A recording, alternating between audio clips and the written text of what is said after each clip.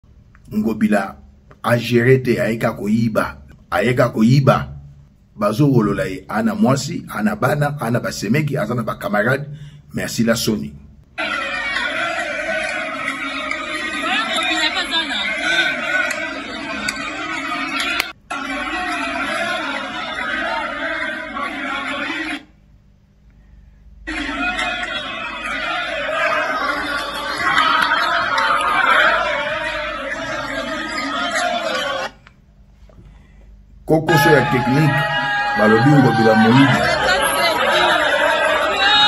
asila so ye wana pembe na fati ancien gouverneur ya rdc ya ville ya kinshasa ngobila moyibi aveni nguma abongisi yango te ngobila moyibi azwi solution te na basinga oyo ya snel azwi solution te na basinga bozomona eleki wana uta babarage ya inge eti kisasa azwa solution te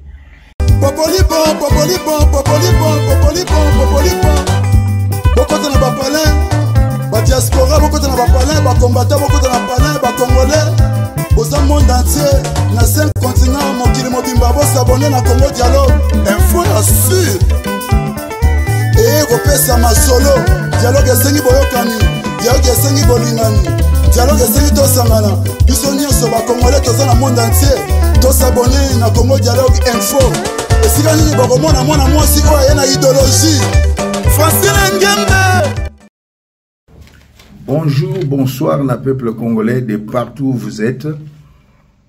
à travers le monde. Euh, Wabino Molobeli Mboka, sentinelle ya RDC, défenseur ya peuple congolais, président ya parti politique La Sentinelle, prophète MB Élysée.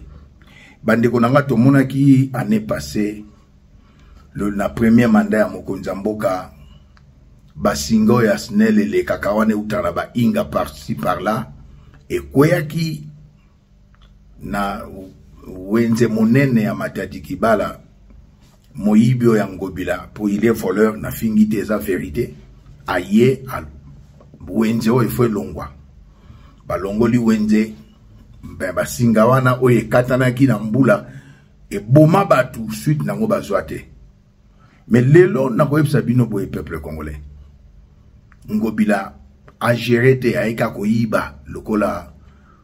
euh, vital kamere azoyiba aye kaka koyiba lokola matata mponio ayaki koyiba lokola moïse katumbi aye koyiba lokola joseph kabila aye koyiba lokola basusu peuple congolais naye na peuple congolais kozala na courte mémoire te totala ngobila bazowolola ye ana mwasi ana bana ana basemeki aza na bacamarade merci la soni un homme inconscient un bébé en politique ngobila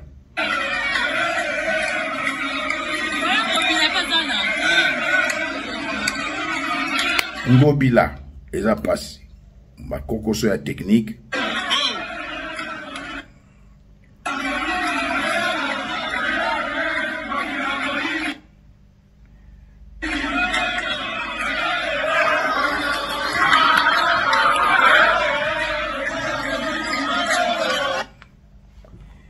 kokoso ya teknike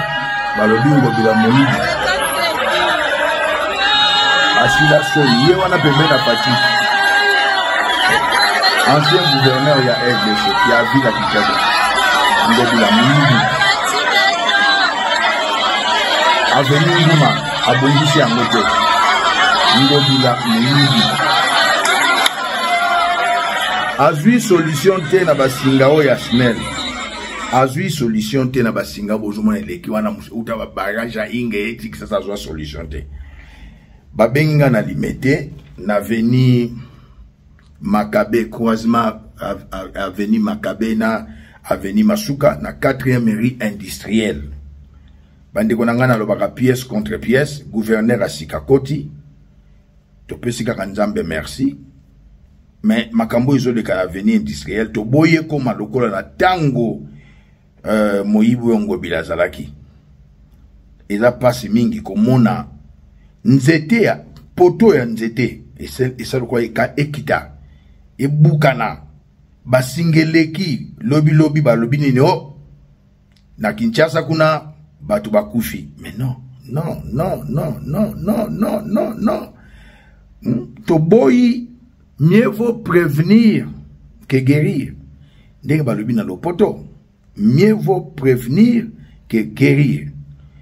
yango naye mbangu kobeta sete naye koyebisa peuple congolais botala bino moko basinga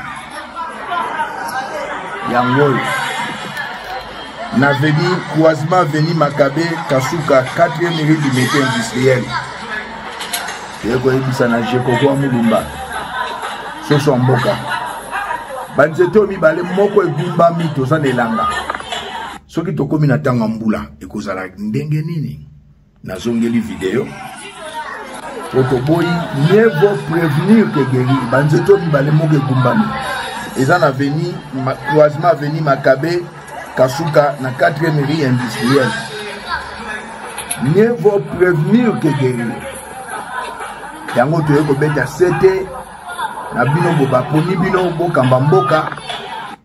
me toyebi mwana mboka moko azali wana jekokoa mulumba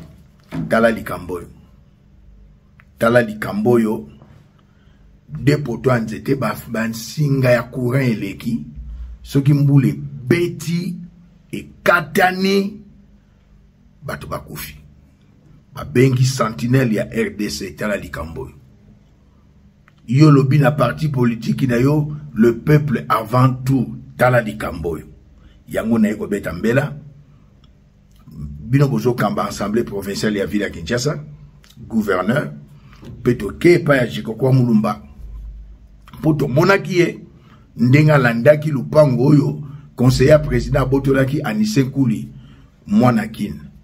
alors bemission yango oyo nakotya nimero na nga soki oza na problème na justice oza na bapreuve po bis nga azali flic nakoyeba oza na bapreuve tosali bainvestigation tomoni koza na raison nakoleka awa wana émission le peuple avant tout toyebi ke yo ministre député oza na kese ya leta oyibi tokoleka awa après na émission na nga mosusu politique alors mama na biso marte mama oza na limete tala mpe likambo oyo bana na yo baleli babiyebisa mama na biso marte atala likambo oyo na veni na croisement veni makabe na veni masuka 4 miri industriel mama tala likambo oyo tokutani mbala nsima merci